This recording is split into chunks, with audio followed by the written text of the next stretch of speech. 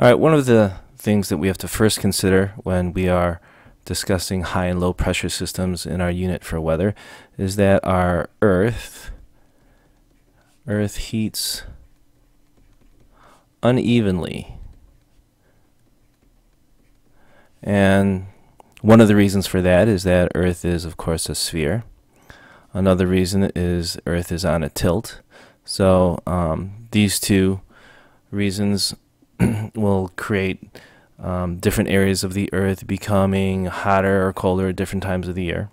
And just because you are near the North Pole or near the South Pole, you're always going to be colder than if you're near the equator.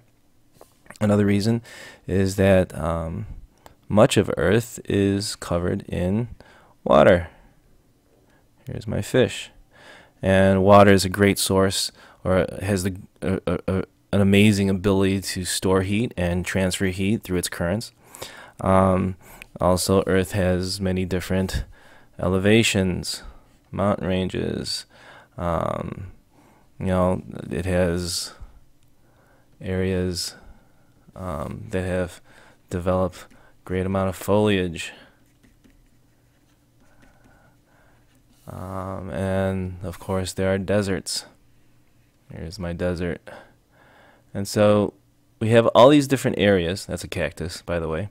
Uh, so we have all these different areas um, getting different levels of heat, having different type of um, environments. And so it's going to create different air masses. And we know that a warm air mass, warm air will rise. And we've learned that cold air will, of course, sink. And that leads us right into our discussion of high and low pressure systems. So, um, when we have air that's warm, that air will, of course, rise. and we get this thing called a low pressure system.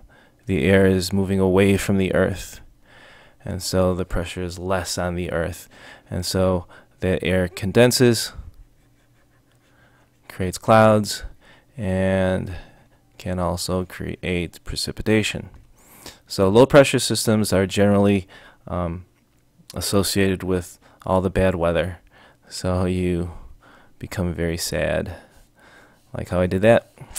Okay, and then with a low pressure system, we have air rushing in to take the place of that of that rising air. Um, and then for a high pressure system, of course, we have the opposite, where air is pushing downward and it's sinking. So because the air is pushing downward on the earth and pushing down upon us, the pressure would be a high pressure system let's see here. Something like this. A high pressure system. All right, and so with a high pressure system, now watch closely. With a high pressure system, you get something completely different. Uh, see what I'm doing here? Clever. You get sunny days. All right. And so we have low pressure system with precipitation, low pressure system, high pressure system with clear sunny days, stable skies, no precipitation, no condensation. And um, there are, um, you know, another aspect to it is how these pressure systems rotate because of the Coriolis effect. Um, in, in the northern hemisphere, I believe the low pressure systems would be counterclockwise. Um, and the high pressure system will be clockwise. But um, that is a topic for another video. All right. Uh, thanks for watching.